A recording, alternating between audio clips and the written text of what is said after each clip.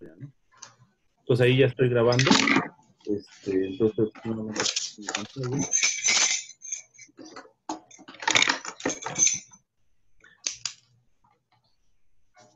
Perfecto, entonces aquí ya eh, podemos eh, comenzar. Déjenme. Mm. Ok. Bien, pues como les comentaba, eh, vamos a iniciar primero con la presentación del programa de... Este, nomás voy a pedir de favor si este, pueden este, silenciarse y eh, si necesitan hacer una intervención, este, eh, pueden, hay dos opciones. Una, este, levantar la mano. Este, hay, hay, una opción de, de, manita, debe estar, donde está la sesión de participantes. Y bueno, como somos poquitos, pues al final algo que se puede hacer fácilmente es este, desactivar la opción de, este, de micrófono y y este, interrumpir en cualquier momento, ¿no? Para, para que no quede ninguna duda. Bien, este, entonces, eh, pues como les comentaba, vamos a iniciar primero con, con, la presentación del programa analítico. Pues este es el, curso de Introducción a la Relatividad General. Y bueno, aquí lo que estoy haciendo básicamente es basarme en, el programa analítico del último programa de estudio ¿no? del año 2014 que tiene la licenciatura en física, pues este lo pueden eh, descargar eh,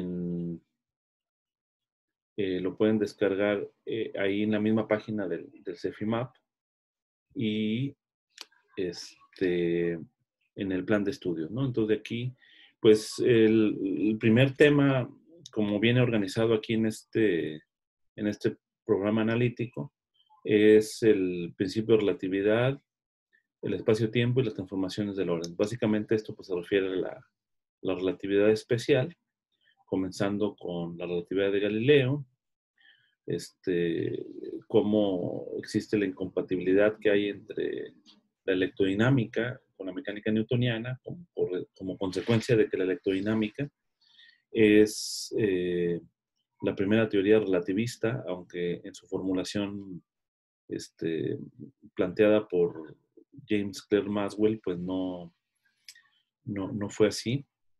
O sea, digamos, no, no fue concebida en ese sentido. Eh, digamos, la, el carácter relativista de la electrodinámica se supo hasta después de Einstein. Eh, y bueno, otras eh, informaciones eh, relativas a la relativa especial, ¿no? Como el concepto de los cuadrivectores, este, el tiempo propio, intervalo propio, transformaciones de Lorentz, etcétera, ¿no? Después en la, en la, en la siguiente unidad o subcompetencia 2, nos plantean sobre la geometría del espacio-tiempo de Minkowski y, y de mecánica relativista. Entonces, eh, acá ya más, de manera más formal, pues se definen lo que son los cuadrivectores, el producto escalar, eh, la noción de la invariancia de Lorentz, la lagrangiana de una partícula, leyes de conservación, etcétera, ¿no? Entre otras cosas. Y luego después viene geometría diferencial, ¿no? Este, variedades diferenciales, vectores, monoformas, bueno, to, to, todas las eh, nociones, todos los ele elementos necesarios para poder este, definir bien eh, la teoría de la, de la relatividad general. ¿no? Al, al, final viene el principio de relatividad general, eh, que es donde se, se, plantea el principio de equivalencia, lo que es la noción de la covariancia general, las ecuaciones de Einstein y luego finalmente aplicaciones de la teoría.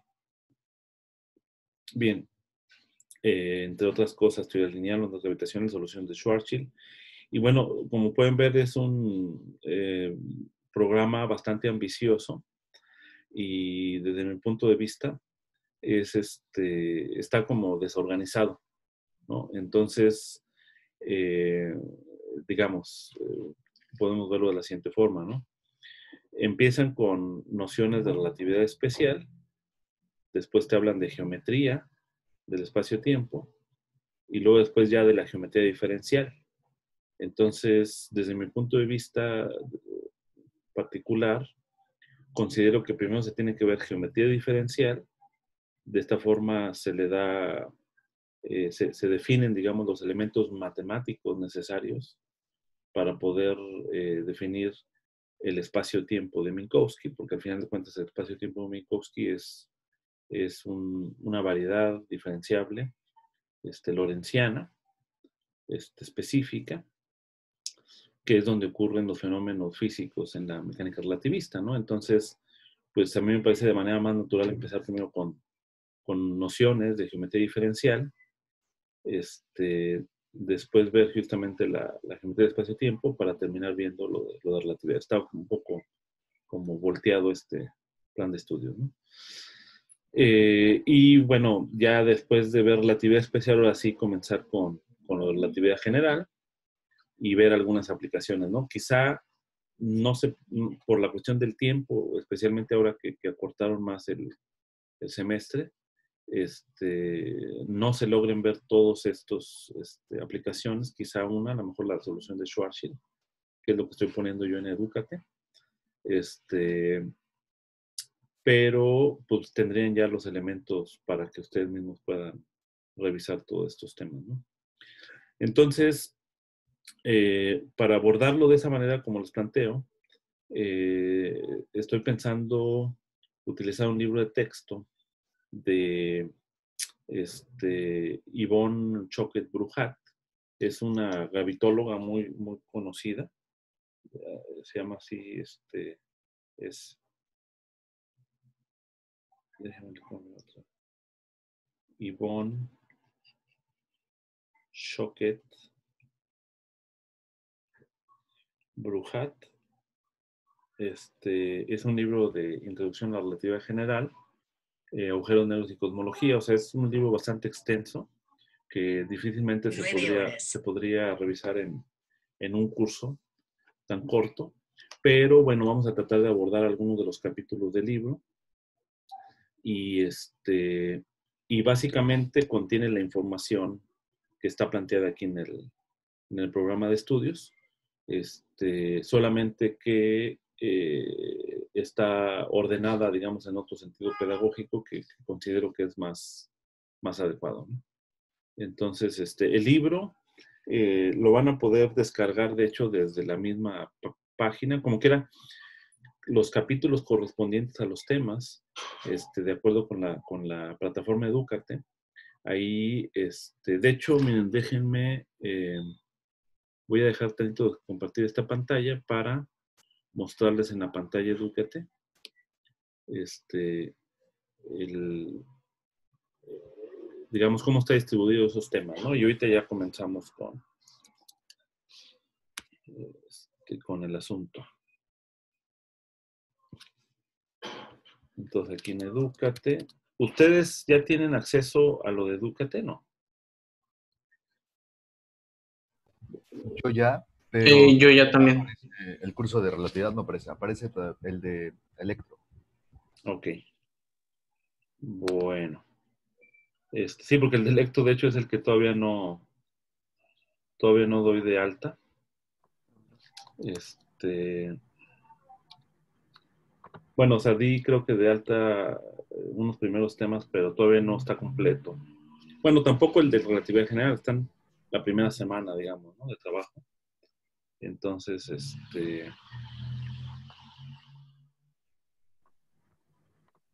Eh, les voy a mostrar cómo va a ser la distribución de estos mismos temas que vienen en el programa analítico, pero eh, cómo se distribuyen en la plataforma Educate, para que ustedes este, eh,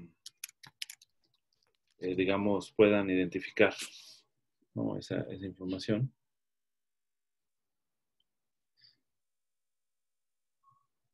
Bien, entonces déjame entrar aquí a plataforma Educate.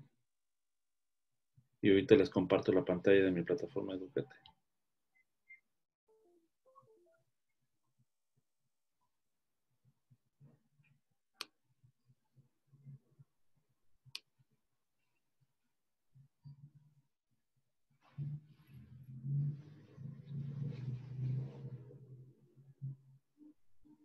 Bien, entonces déjenme les comparto la pantalla. De acá está la plataforma Educate. Bien, está ahí creo que ya todo la, la pantalla, ¿no? Sí.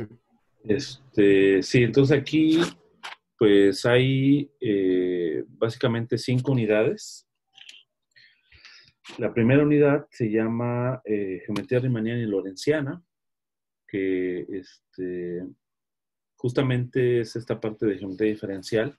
Obviamente la geometría diferencial es mucho más amplia, pero este, vamos a restringirnos a, estos dos aspectos de la geometría diferencial. Y este, aquí, cuando le pican en esta pestaña, pues ya aparecen las cuatro secciones. Entonces, fíjense, en estas cuatro, estas cuatro secciones, la idea es abordarlas desde esta fecha de hoy hasta el 18 de septiembre. Son cuatro semanas. Y aproximadamente está definido uno por semana. Entonces, por ejemplo, aquí en este parte de geometría riemanniana y lorenciana, este, al darle clic este, pues ya aquí va a aparecer el, el, primer capítulo del libro de Yvonne Choquet Brujat, que es básicamente en el que nos vamos a basar. Ahorita vamos a comenzar con, con esta discusión. Este, y también así en cada una de las secciones, ¿no? Por ejemplo, sección 2, este, aquí viene el, de la unidad 2, aquí voy a agregar el... ah, bueno, eh, en esta primera sección, no, perdón, en, la sección general es donde viene el capítulo. En esta primera sección 1, aquí viene ya la primera tarea, ¿no? La idea es entregarla el próximo lunes, ¿no? Entonces aquí ya la pueden descargar ustedes la tarea. Este, aquí, aquí viene, ¿no? En esta parte. ¿no? Entonces, este, de esa manera la idea es ir trabajando más o menos por semana las tareas esto, esta primera unidad está dividida en cuatro secciones, es decir, cuatro semanas. La segunda unidad, este, aquí todavía no agrego las secciones, pero está dividida en dos semanas, me parece, o tres. Es del 21 de septiembre al 9 de octubre. Y luego eh, la, tercera unidad del, del 12 al 23 de octubre. La cuarta unidad del 26 de octubre al 20 de noviembre. Las ecuaciones de Einstein, ese tema está muy, muy extenso, entonces por eso es casi un mes. Y la última que les digo de aplicaciones, pues yo creo que nada más vamos a ver lo de la solución de, de Schwarzschild y eso va a ser en la semana del 20 al 27 de noviembre. Y de ahí yo creo que van a tener pues ya una base bastante sólida para poder seguir, si ustedes quieren, a, revisar otros temas, ¿no? Ya con esto se les va a hacer muy, muy sencillo, este, por ejemplo, abordar el, el espacio-tiempo de Friedman Robertson Walker, que es de importancia en, cosmología, otras soluciones más complejas en relatividad general de, que se utilizan, por ejemplo, para modelar agujeros negros, como este, las soluciones de Kerr o de, de Nostrom, este, con agujeros negros ya con carga o con momento angular. También, digamos, pues requiere su, su trabajo, su, su, son, tienen detalles, pero en principio ya con esta base pues debería ser posible este, atenderlo. Entonces, si ustedes se fijan, pues hay, hay trabajos que pueden hacer de manera este, eh, autodidacta. ¿no? Bien, entonces vamos a comenzar ya con, esta va a ser lo de la plataforma de, de Educate. ¿no? Vamos a comenzar entonces con, con lo del curso. Eh, déjenme compartirles la otra pantalla acá. pantalla. Entonces vamos a comenzar acá con las notas que yo tengo. Bien, entonces, eh, pues para comenzar, aquí pues va, a ser un poco de, acostumbrarse a, escribir aquí. Pues lo primero que tenemos que ver, eh, como dijimos en la, unidad 1, por aquí, este, la unidad 1, pues vamos a ver eh, geometría este, riemanniana.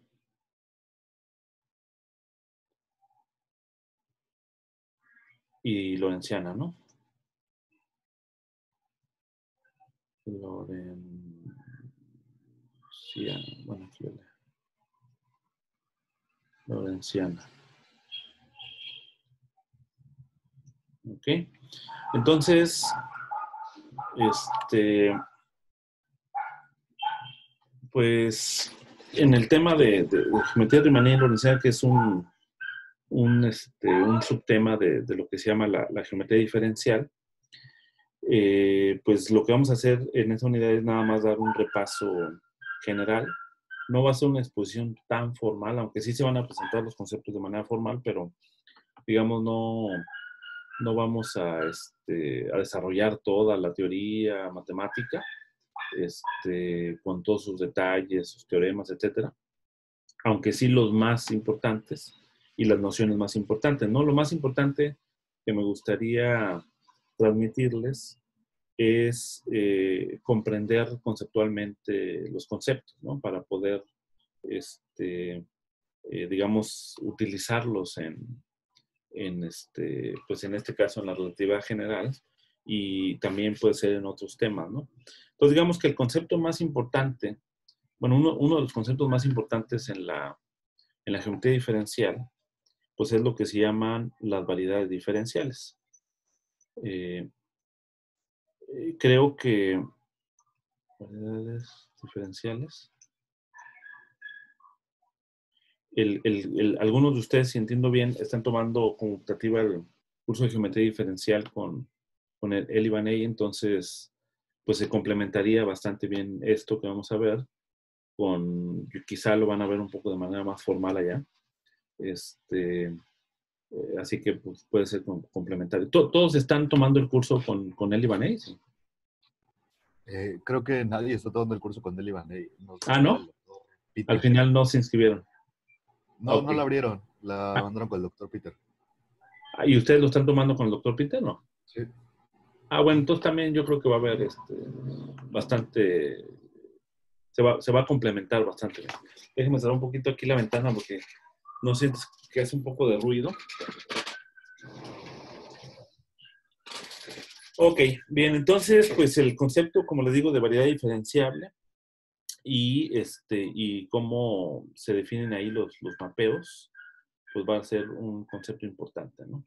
Entonces, así como una idea eh, digamos, una primera idea de lo que es una variedad diferenciable, pues es, es el espacio, ¿no? Digamos, lo, lo, más sencillo que podemos pensar como variedad diferenciable, pues es un espacio euclidiano, un, un espacio Rn, por ejemplo, eh, o bueno, un espacio R3, ¿no? Que tiene aquí Z, X, Y, ¿no? En donde, pues, digamos, eh, sabemos que, que, ocurren, digamos, los, los eventos, los, este, los estados en, en, física clásica, normalmente describimos, eh, digamos, todo lo que ocurre en un espacio tridimensional, ¿no? Este, digamos, asociamos eh, a cada punto del espacio un, un, un, vector posición x, y, z, ¿no? Y todos los, todos los conjuntos de números reales X, Y, Z en este triplete, pues definen el eh, R3, ¿no? Y bueno, aquí pues se le puede dotar de, de bastante estructura, ¿no? Como ustedes saben, eh, es una estructura que aprovechamos mucho en física para describir, este, por ejemplo, en mecánica clásica, el, el, movimiento de un cuerpo, ¿no? Aquí este, puede cruzar, puede ser la trayectoria de una partícula que está moviendo en R3. Este, entonces, en fin, este R3 pues es una, es una variedad diferenciable, ¿no? Es como decir, una de las variedades diferenciables más, más sencillas. Ahorita vamos a, ver cuál es la, característica más importante de las variedades diferenciables. Y eh, uno también, eh, digamos, está en el fondo también una noción topológica, digamos, asociada a la variedad diferenciable, ¿no? De hecho, las variedades diferenciables son son espacios topológicos, ¿no?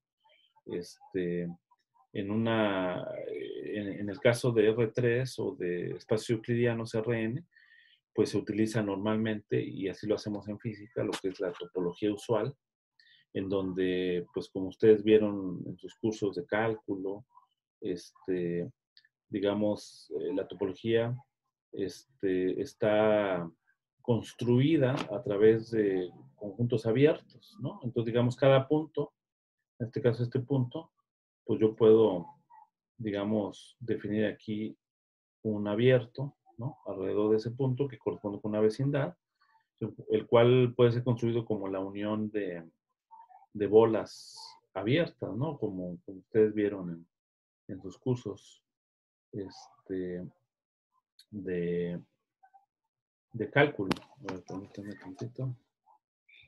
Me está aquí molestando unos anuncios. Ahí está.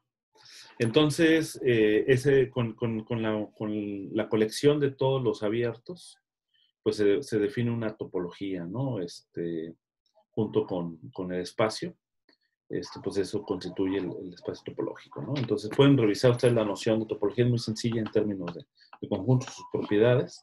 O sea, una de las propiedades, por ejemplo, es que, que el vacío tiene que estar en, en el espacio, en, la, en el, espacio topológico.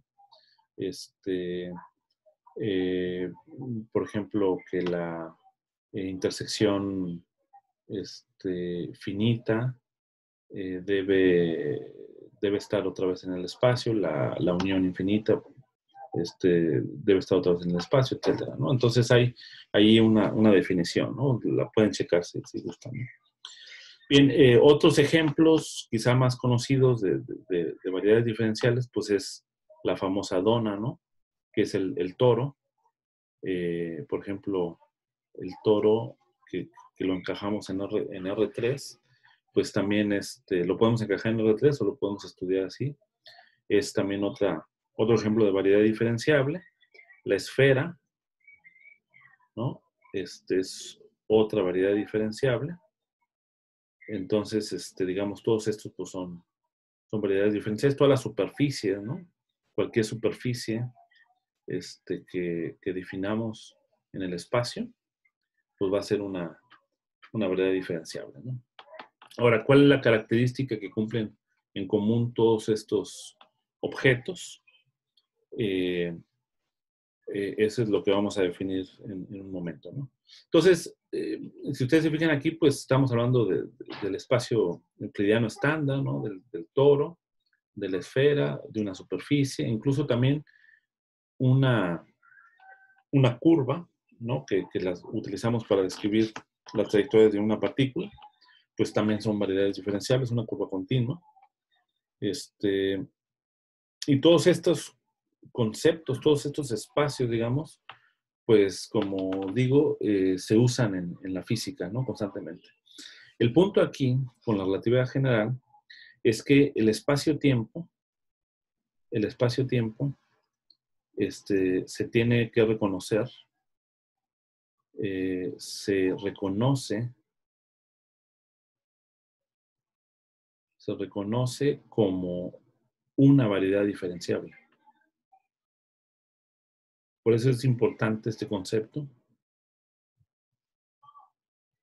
Y bueno, el, el espacio-tiempo, este, pues digamos, normalmente lo vamos a denotar así, digamos como dm de manifold o variedad también. Este, eh, digamos, puede tener, donde ya no nada más es una superficie que tiene dos dimensiones, o una dimensión como una curva, o tres dimensiones como este espacio, sino ya pueden tener más dimensiones, ¿no? Eh, en el caso del espacio-tiempo, pues tiene por lo menos eh, cuatro dimensiones que están asociadas con, con las tres dimensiones espaciales más una dimensión este, temporal, ¿no? Entonces es un poquito más, más complicado. Ajá. Esa letra, disculpe, es M. Esta es M, sí. Esta de acá es, M. Bien, entonces esa es la idea fundamental de, eh, bueno, en, relatividad general, eh, al final de cuentas, eh, pues hay un principio que nos conlleva a un conjunto de ecuaciones, que son las ecuaciones de Einstein, y estas ecuaciones describen eh, el objeto fundamental que describe es el espacio-tiempo, ¿no? O sea, es decir, una vez que tú solucionas esas ecuaciones, eh, lo que te da lugar es una, variedad específica. Eh, un, un, ejemplo de variedad, pues es la solución de Schwarzschild, ¿no? Es un espacio-tiempo específico y bueno, la, la, idea de introducir los conceptos, las nociones de geometría diferencial, pues es eh, introducir los elementos matemáticos mínimos necesarios para poder hacer una descripción de esos espacios-tiempos y, y, ver cómo podemos, a través de esa descripción, extraer la física. ¿no? Ese es, es, un punto. Ahora, antes de, de, de comenzar a, decir cómo, digamos, la, como les decía hace un momento, la característica común que tienen estos espacios-tiempos, eh, comentarles que, bueno, la, las variedades diferenciables aparecen en, en, un montón de lados, ¿no? Eh, bueno, claramente en mecánica clásica, pues es un, un lugar natural, digamos, en donde van a eh, aparecer las variedades diferenciables. A lo mejor no vale variedades lorencianas, eh, digamos, aunque no, no, no, hemos definido el término lorenciano, pero las variedades lorencianas son como, como, como, como las que va a tener el espacio-tiempo. Este, porque hay una distinción entre variedades diferenciables que son eh, lorencianas y las que son riemannianas, ¿no? Digamos que las riemannianas son las que no involucran el tiempo, vamos a decir, por, por decirlo de una manera. Eh, o bien que depende un poco de la asignatura, de la métrica, pero bueno, esos detalles los vamos a ver más adelante. Entonces, el, el punto es que, eh, bueno, en mecánica clásica, por ejemplo, si, si tú quieres eh, describir, por decir, este, un, un, ejemplo así sencillo, académico, eh, es el, el, el, péndulo, ¿no? O sea, si yo tengo un péndulo, así de simple, eh, pues yo puedo describir el movimiento del péndulo con este ángulo teta, ¿no? Así, este, pero uno se puede preguntar sobre cuál es el espacio de configuraciones que tiene el péndulo. Eh, pues, ¿cuál, ¿cuál, ¿cuál, creen ustedes que sería el espacio de, configuraciones que tiene el péndulo?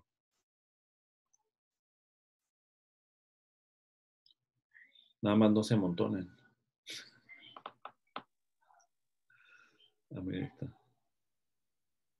Este, a ver, Abraham.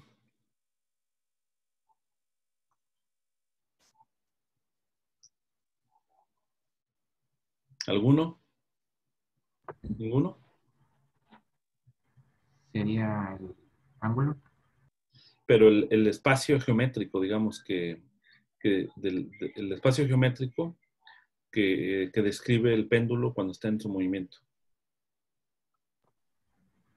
Estaría en un plano.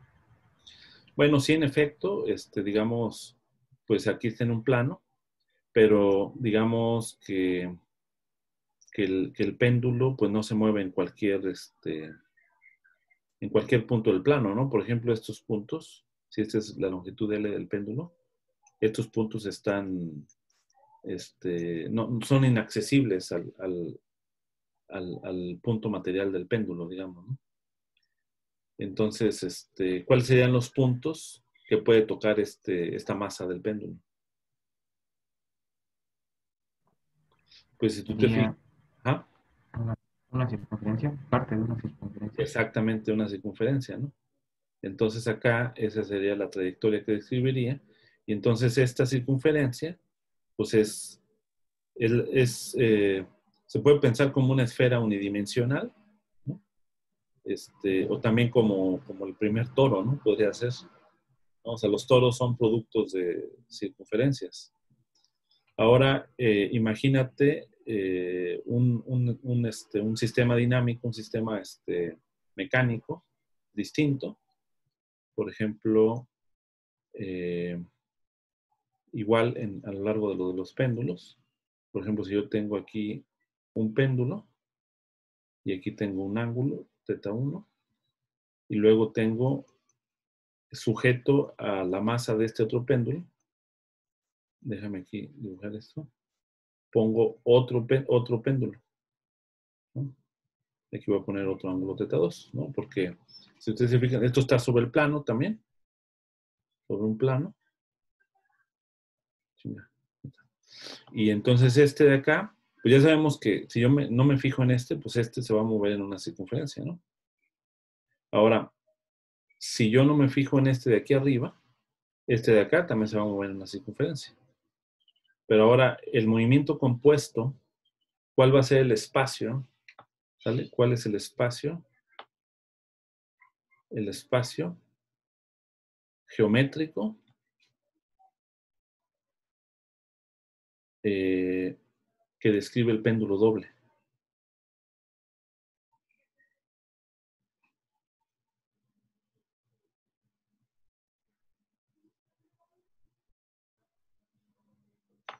A ver, este, el que sigue, que sería, este, ¿cómo se llama? Rubén. Este, no logro visualizar bien la figura. Eh, por un momento iba a decir que era como una especie de toro o cilindro, todo raro, pero no estoy seguro. Ok. ¿Qué piensa Jesús?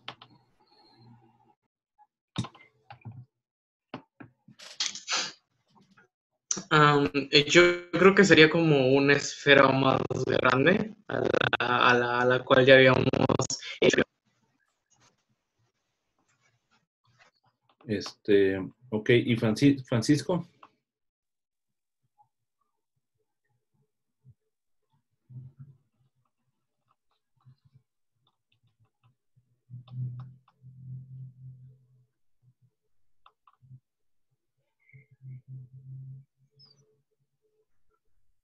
Creo que este, a lo mejor no tiene muy buen internet. Bueno, pues en efecto, eh, un poco más o menos por ahí ya dijeron la, la ¿Se me escucha ya? Ah, sí. Estaba muteado Ah, por ok. error con Perdón. mis audífonos. Ah, yo creo que él va a describir una trayectoria muy complicada Sí. y a lo mejor dependa de muchos factores. Que creo que a lo mejor va a describir una diferente cada vez que se lance, por así decirlo.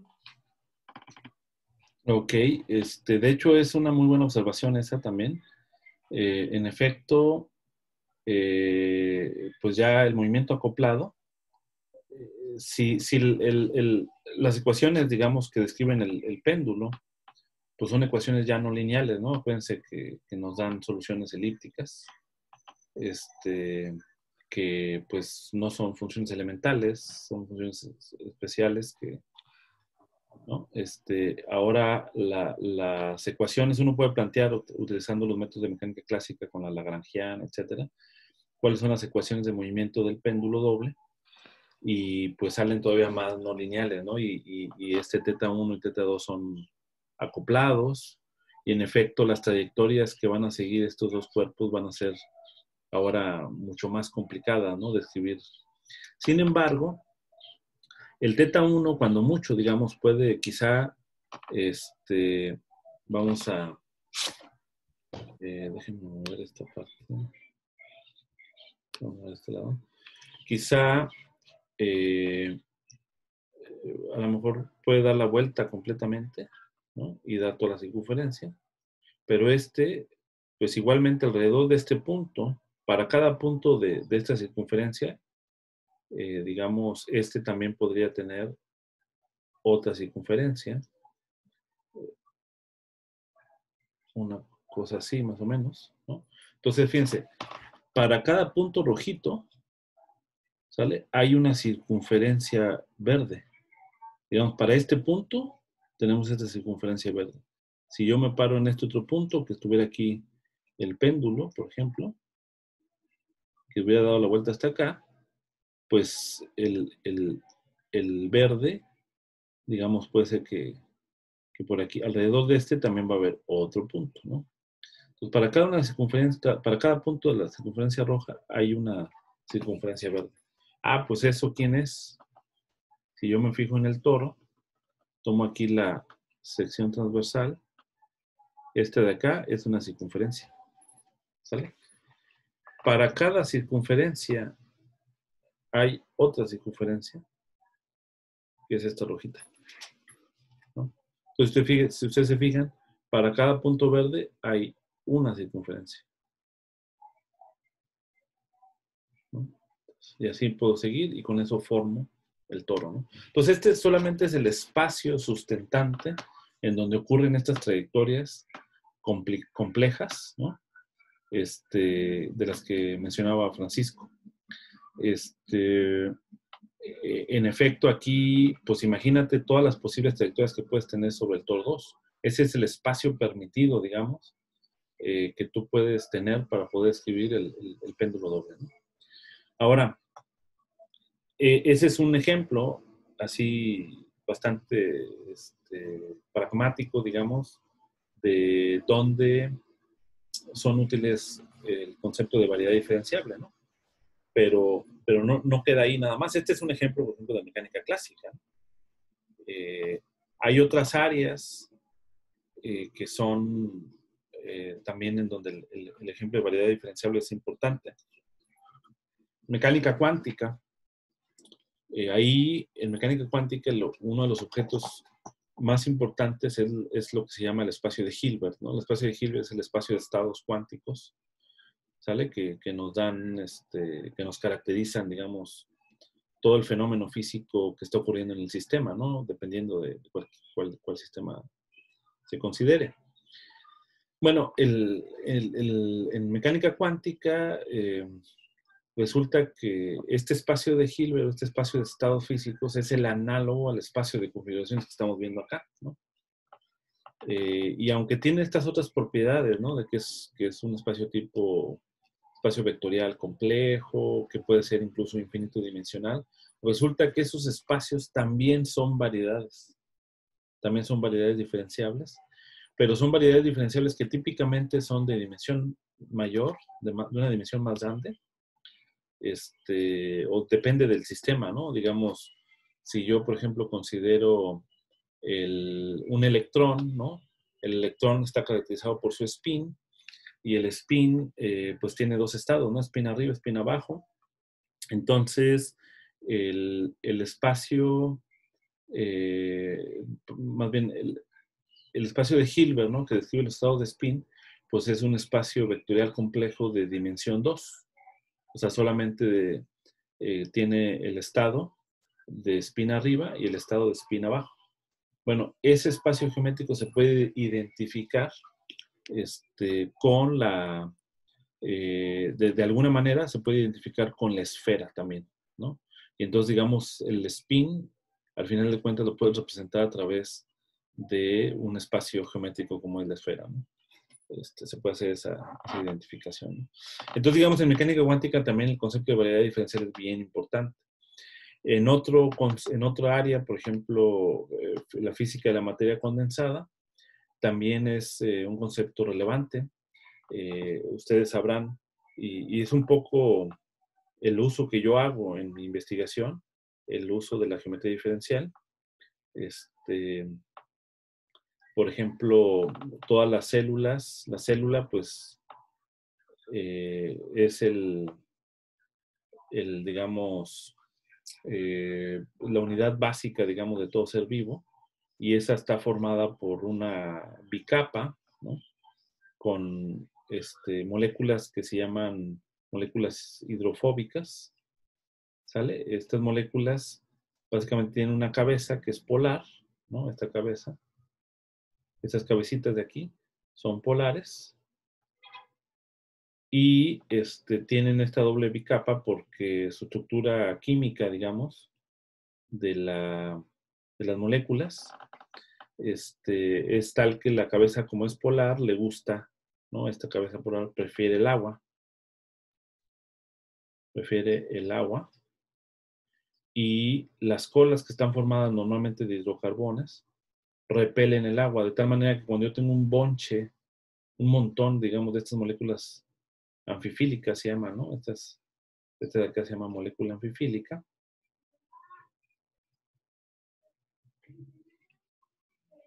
Anfifílica, este, pues se esconden del agua y forman esta bicapa, ¿no? El punto es de que el grosor que tiene esta membrana es del orden de nanómetros, mientras que el tamaño que tiene toda la membrana es del orden de micras. ¿no? Entonces, este, uno puede considerar que, este, que, esta se puede pensar como una superficie matemática, o sea, una, una geometría de una superficie, y, y, resulta que cuando se observa en el laboratorio, pues estas pueden adoptar formas que pueden ser esféricas, incluso se pueden llegar a configuraciones en formas toroidales también, y hay toda una clase de, de superficies, ¿no? Este, curvadas, ¿no? Que son también, pues, variedades diferenciales. Entonces, un- uno de los estudios es eh, construir ecuaciones que son análogas a las mismas ecuaciones de Einstein, ¿no? De la relatividad general, en el sentido de que son ecuaciones eh, geométricas para la curvatura de las superficies, ¿no? Entonces, en el caso de superficies, normalmente hay dos curvaturas cuando yo las, estas superficies las encajo en, en, en- en el espacio tridimensional, digamos. Yo encajo aquí las superficies este, en el espacio tridimensional.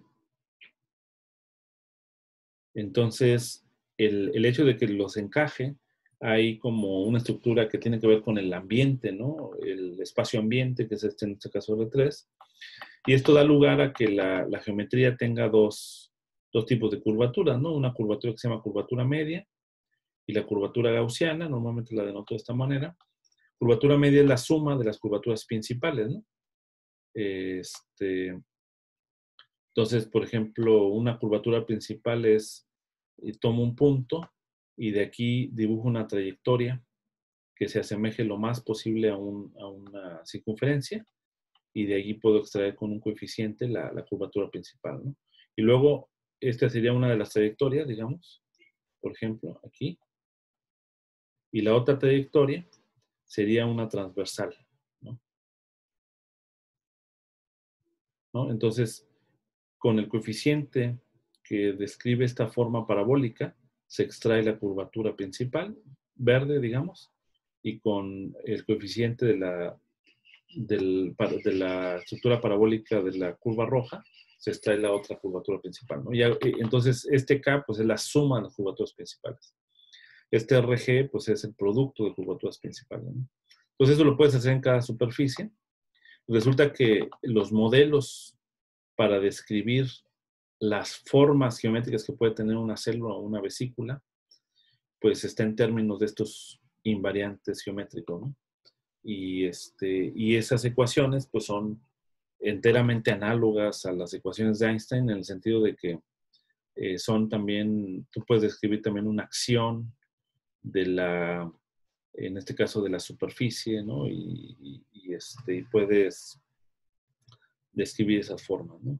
En ese sentido análogo. Nada más que pues aquí no hay, no hay tiempo, digamos. Bien, entonces, este, pues yo creo que esta es una, una introducción bastante suficiente, motivante, ¿no? Para estudiar eh, variedades diferenciables. Entonces vamos a, en lo que nos queda de tiempo, vamos a comenzar ya con, con qué es lo que este, tienen en común, digamos, todos estos espacios. No sé si tengan alguna pregunta.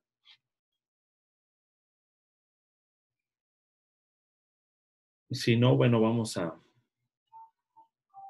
a comenzar. En cualquier momento que, quieran este, preguntar, este, interrumpan eh, con sonido, no, no importa, ¿no? Pueden levantar su, su micrófono este, y, y pueden hacer la, la pregunta. Bien. Entonces, eh, un concepto eh, muy importante para las variedades es lo que se llama la carta. ¿Ok? Un poco estas ideas vinieron de, este, pues de los cartógrafos, ¿no? De, de los que eh, en, navegantes, digamos, en el pasado, pues hacían sus recorridos en el mundo a través de barcos y, este, hacían mapas cartográficos, ¿no? Entonces un poco viene de ahí la idea, porque en sí, pues la, la superficie que, del planeta, digamos, del planeta Tierra, pues es una superficie esférica, o topológicamente equivalente a una esfera, podemos decir, al menos, y, este, y es una variedad diferenciable, ¿no?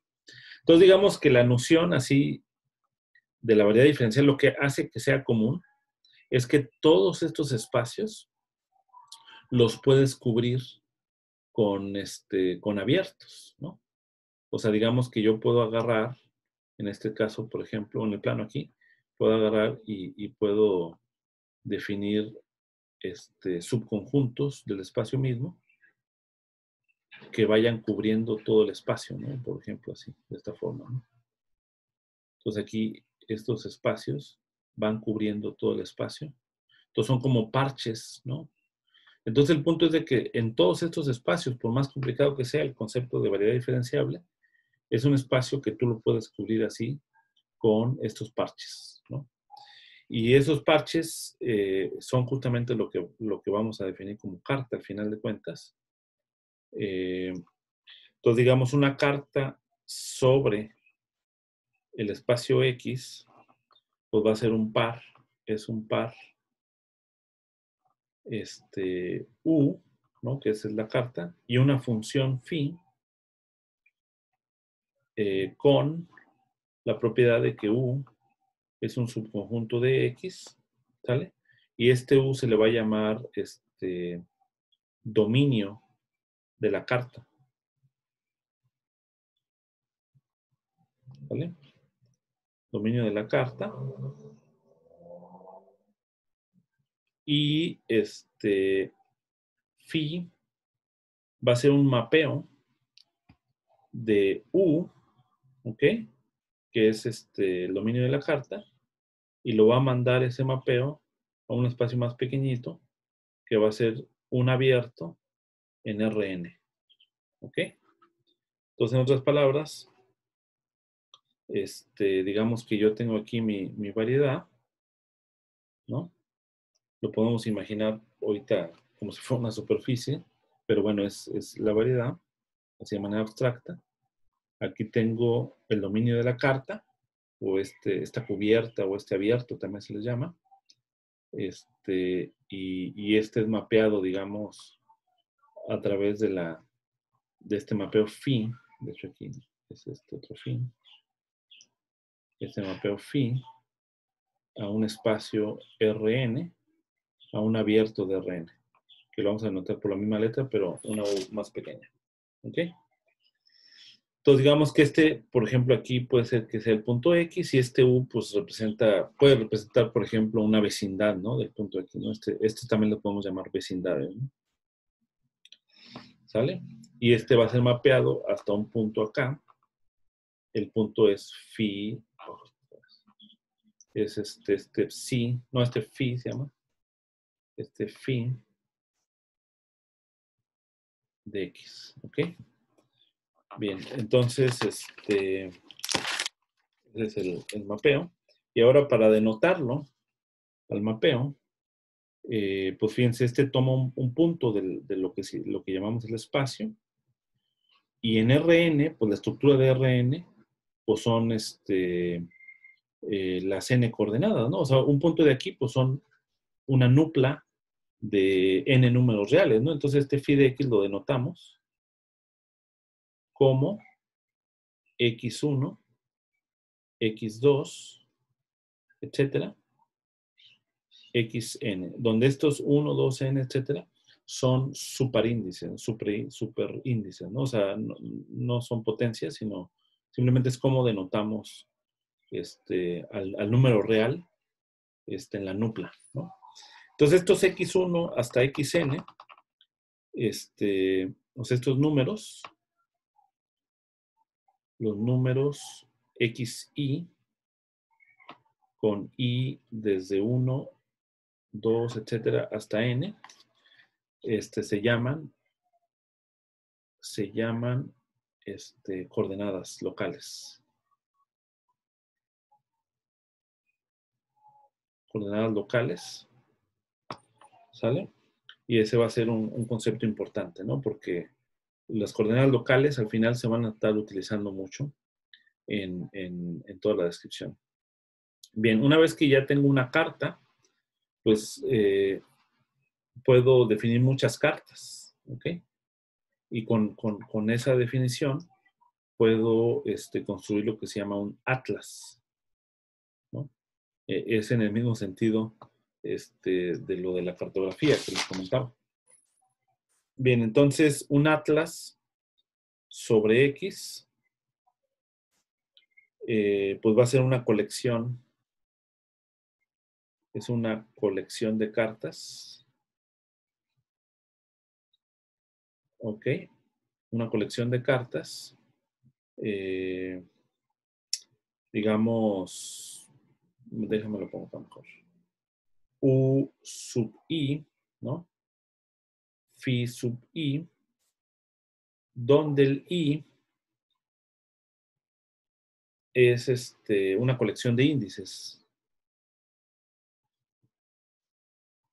Y esta colección de índices que etiquetan todas las cartas que tenemos cumplen con la propiedad de que este, el, el dominio, eh, el dominio cubre el dominio de, de los índices. O sea, decir, eh, tenemos que considerar todos los, todas las cartas posibles eh, y eso se hace al construir el dominio de los índices de tal forma se construye tal que este, eh, las cartas cubran, tal que se cubra a X. ¿Ok?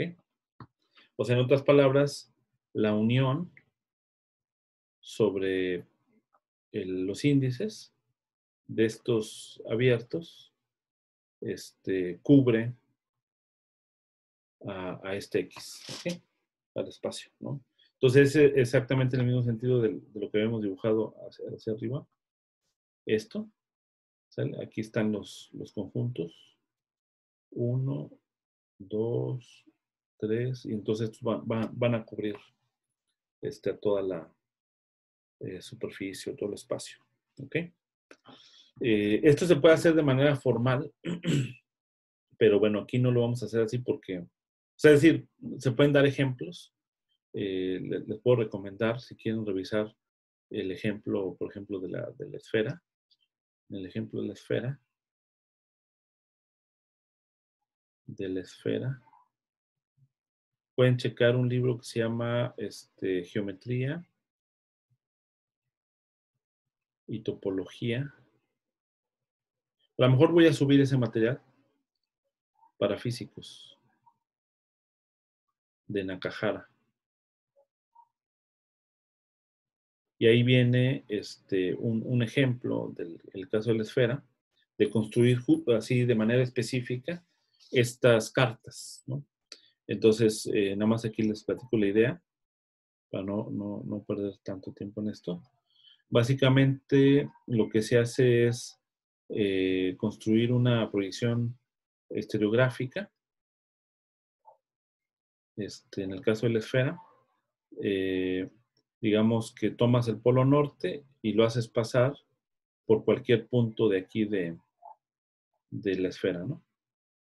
Entonces, este punto, por ejemplo, eh, en la esfera, correspondería con este otro punto más grande en el plano XY.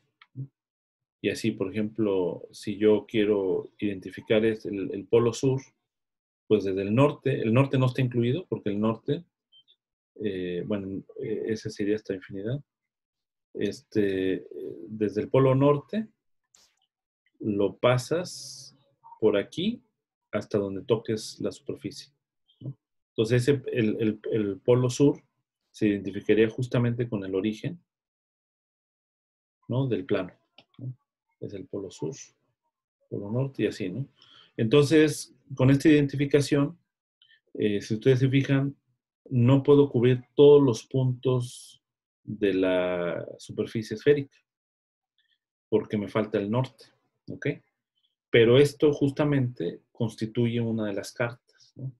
Vamos a llamarle la carta U más. Y el mapeo U más, pues es el, este, el que hace que yo identifique, por ejemplo, este punto de la esfera con este punto del plano. Y esa es una construcción geométrica, ¿no? Aquí, este es un triángulo rectángulo, etcétera. Ahí pueden hacer la, el álgebra, ¿no? O checar aquí el libro y viene específicamente. Ahora, eh, pero esto no, no me cubre a toda la, la, este, el espacio, ¿no? A toda la esfera. Entonces, lo que se hace es construir otra en donde ahora abro el polo sur. y entonces hago la misma identificación, ¿no? El mismo tipo de identificación hacia, hacia, el, hacia, este, hacia el plano, y con eso tengo, aquí tendría este primero, y tengo otra carta que sería U menos, Fi menos. ¿no? Y entonces ahora sí, la unión de estas, que de hecho tienen autointersección, ¿no? Este, tienen una intersección entre estos dos, pero bueno, la, la unión cubre ya a todo el espacio, ¿no? Y, y este es un ejemplo este, de... Esto prueba, digamos, al final, si hacen todos los detallitos, de que S2 es una esfera. Ok. Bien. Este, no sé si hay alguna duda hasta acá. Ok. Eh, un mapeo, déjenme avanzar hasta aquí al menos. Eh, bueno, cuando tenemos RN, digamos, eh, este, pues podemos definir con un, mapeo de, eh, digamos, yo tengo RN, aquí el espacio. Entonces yo puedo definir un, un abierto, U minúscula, y acá tengo otro abierto, B, ¿no? Como ya sabemos los abiertos, los puedes ver como eh, la unión de bolas abiertas, o bueno, hay distintas formas, ¿no? De, hacerlo, ¿no? Con, con, con, cajas abiertas también puede ser. Entonces aquí este, puedo hacer una función entre, en el mismo espacio RN a RN, ¿okay? Y entonces esto de acá, pues es, es un conjunto, les digo, es una función, ¿no? De U, de, de RN en RN, ¿no? O sea, de RN en sí mismo, ¿no? Pero hay una clase de funciones específicas que se llaman homeomorfismos. ¿Ok? Un homeomorfismo, ¿sale? Es un mapeo, ¿no? En este caso, este F que va de U en B, ¿sale? Eh, que es biyectivo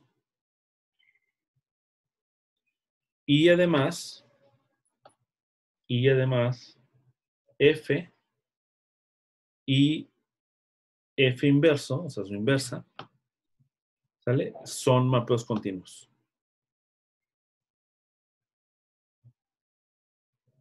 Continuos, ¿ok? Entonces, ustedes recordarán mapeo biyectivo desde el curso de cálculo 1, ¿ok? Este, aquí es donde empieza a cobrar sentido por qué había que estudiar cálculo 1 en toda su formalidad, ¿no? El mapeo biyectivo, pues es un mapeo que es inyectivo y sobre, ¿no?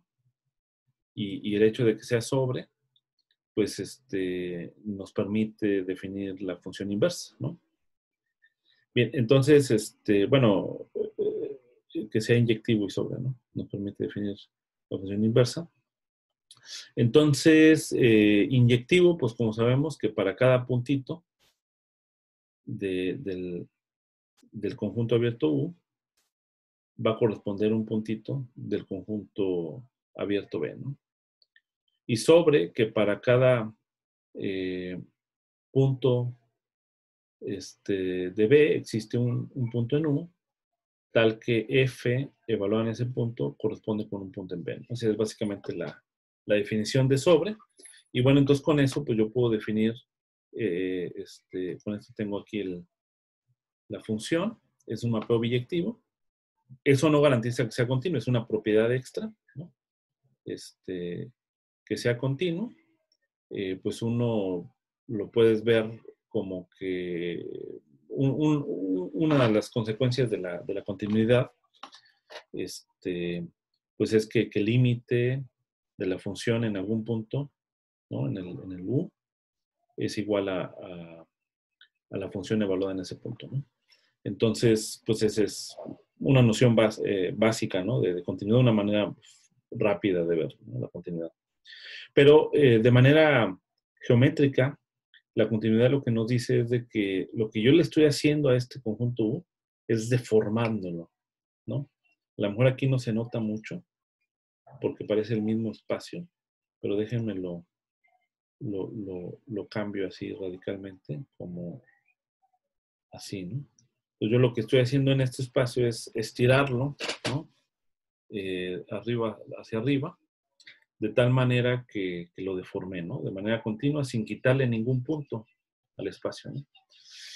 Ahora, el, el hecho que sea biyectivo, como dijimos, pues nos, nos garantiza lo del el- el mapa inverso. Y entonces yo tengo aquí el, F inverso. Igualmente el F inverso, pues es este biyectivo y también este continuo, ¿no? Así se pide, ¿no? Para definir el homeomorfismo. Y entonces lo que, lo que es el homeomorfismo, en otras palabras, es tomar este espacio U, deformarlo de manera continua y llevarlo al, al espacio B. Eso es lo que le hace F. Y lo que hace F inverso, pues es tomar el espacio deformado y regresarlo a la forma de U. ¿no? Entonces, esa noción es bien importante para el concepto de variedad diferenciable. ¿Ok? Eh, ahora, un mapeo biyectivo.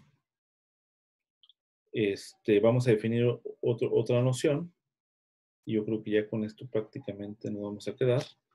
Este, que es este difeomorfismo. Difeomorfismo. ¿Ok? Entonces, básicamente, difeomorfismo de clase CK, ¿no? Entonces, básicamente, CK se refiere que es este, K veces diferenciable. ¿Ok? Eso es lo que quiere decir este, de clase CK.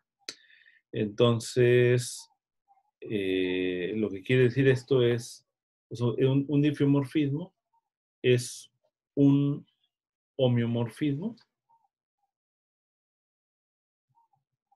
F, ¿no? En este caso de U en B. Este, si F y F inversa son de clase CK. ¿Vale? O sea, F es, es un homeomorfismo, pero además F y F inversa deben ser de clase CK para que sea un difeomorfismo. ¿no? Entonces, la noción de difeomorfismo es un concepto, más fuerte que el de homeo- homeomorfismo.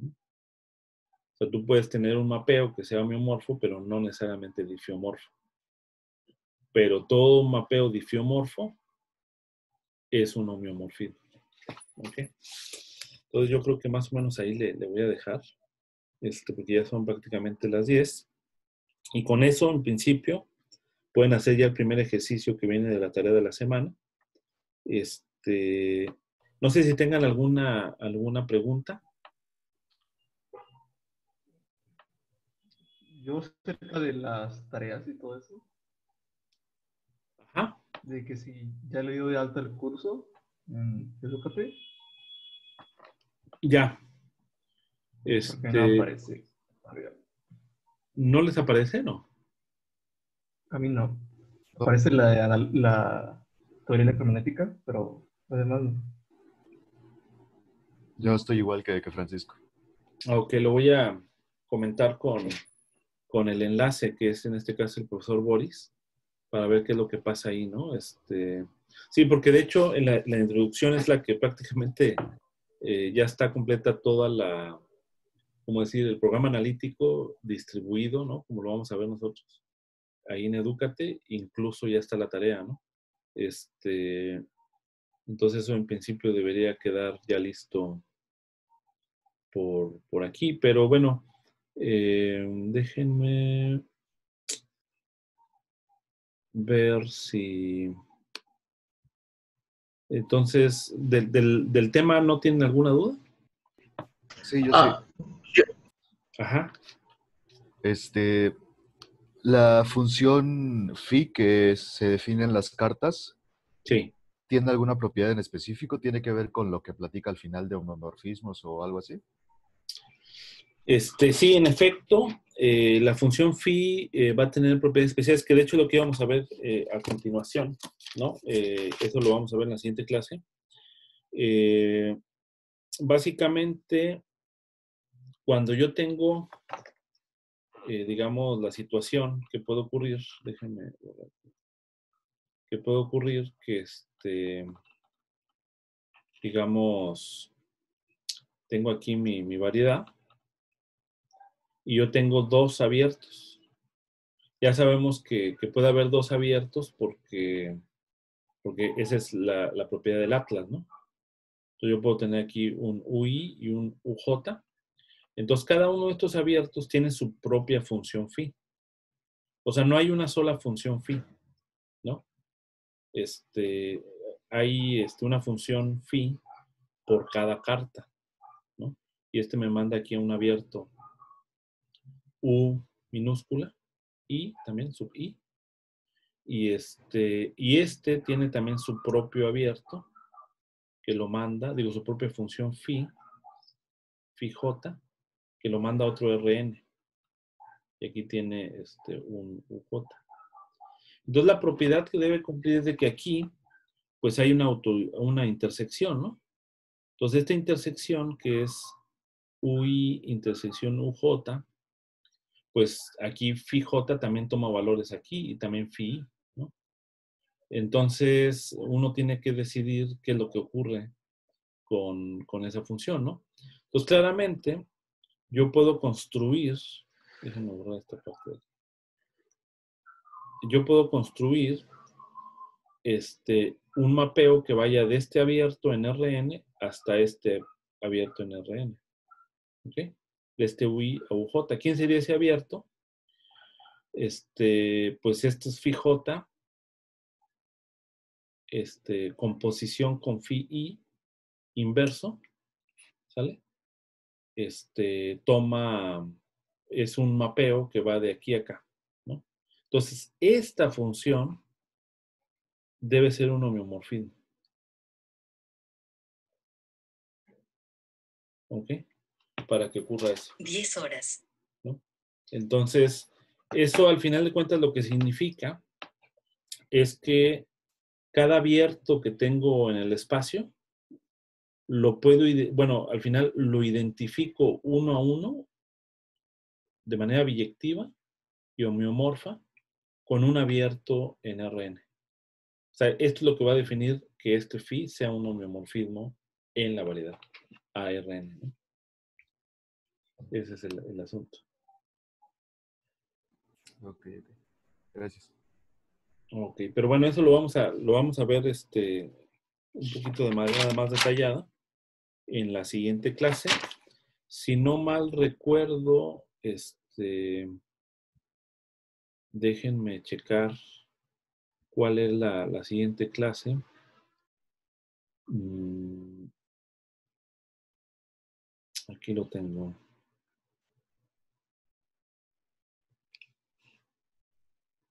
No sé si hay al- alguien más que tenga otra pregunta. Profesor. Yo. Ah, sí, la siguiente clase sería el miércoles de 2 a 3 y media. Y luego viernes de 3 y media, de 1 y media a 3 y media, ¿no? Entonces ahí yo espero la, idea, de acuerdo a lo que está en Edúcate, pero bueno, entiendo que no, no lo han visto ustedes, es este, es, eh, ¿cómo se llama?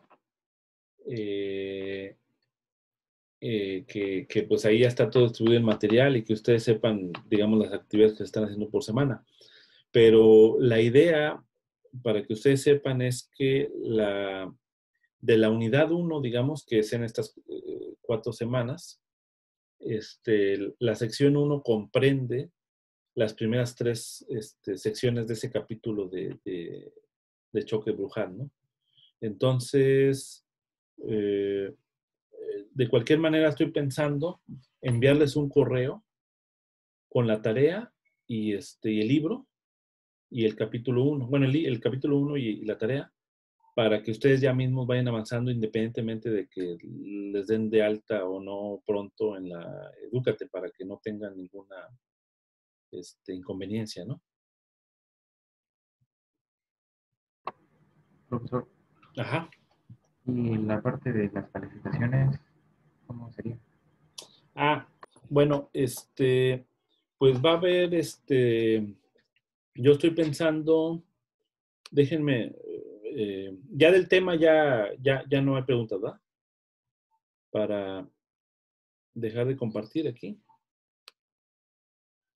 Y déjenme compartir la plataforma Educate nuevamente. Este, déjenme entrar nuevamente para explicarles cómo va a ser lo de las tareas y lo, las calificaciones, ¿no? Eh, bueno, como no va a ser el curso presencial, va a ser este, todo en línea y, así como lo estamos dando. Entonces van a ser básicamente actividades. eh, eh, van a ser actividades. Déjenme ver si hay participantes. Sí, en efecto, no, no hay participantes, pero yo no puedo, este, no sé si yo puedo inscribirlos.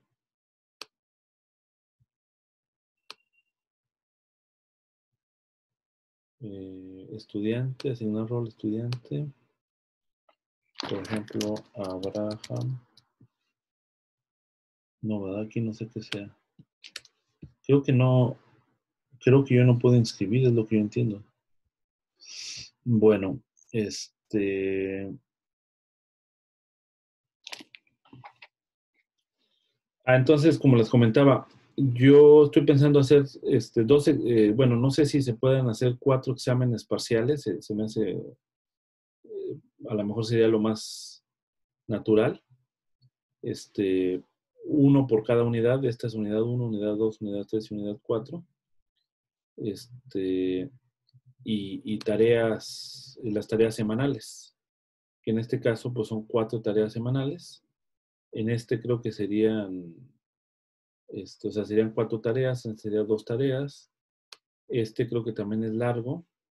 Y aquí lo dice, si es casi de, ah, no, es de, de dos semanas.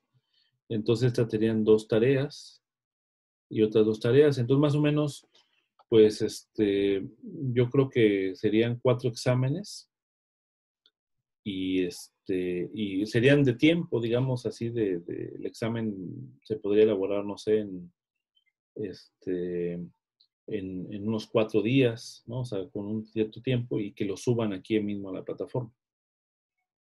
¿Ok? Entonces, este, y, y bueno, de la, de la unidad 5 yo creo que ya no creo que logremos realmente este, avanzar mucho este, y, por lo tanto tampoco calificar. Entonces me, me voy a concentrar en la, calificación de estas cuatro unidades nada más. Este, estoy pensando que sea un eh, 40% de tareas y un, un 60% de exámenes. O sea, eh, son 60%, cada examen valdría 15 puntos de corresponde a cada una de las unidades. Y como les digo, serían como, como exámenes a casa, ¿no? Al final de cuentas. Este, pero que ustedes mismos van a subir aquí mismo en la plataforma. ¿Alguna otra duda?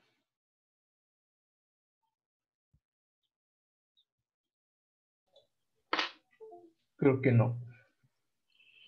Muy bien, jóvenes, pues este interrumpimos un poquito porque quizá tienen otra clase o no. Este, yo como quiera ahorita los vuelvo a ver, ¿no? Porque tenemos la clase de electro. Este, Sí, sí. y a otros también, a otros de sus compañeros. Entonces, eh, pues nos veríamos el próximo miércoles. Y este, y, y ahorita en un momento les mando en el correo la unidad 1, el capítulo de la unidad 1, y también este, ¿cómo se llama? El, la tarea, ¿no? Para que ya ustedes mismos vayan, vayan checando este, cómo está el, el asunto. Profesor, Bueno. Sale, vale, pues. profesor, la grabación, la ¿Sí? grabación, la grabación nos lo mandaría o no? La grabación en principio también la voy a subir aquí y también la voy a subir a mi canal de, de, este, de YouTube. Entonces va a estar ahí, pero también la voy a subir aquí mismo en, en, en Edúcate para que de ahí se ligue.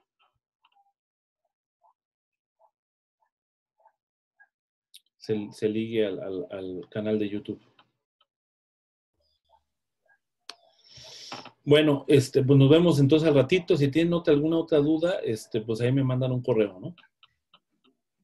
Vale. Sale, vale. Hasta luego. Sale, que estén bien. Chao. Buen, Dale. buen inicio de semana y a darle con todo. Sí es. Gracias. Sí es.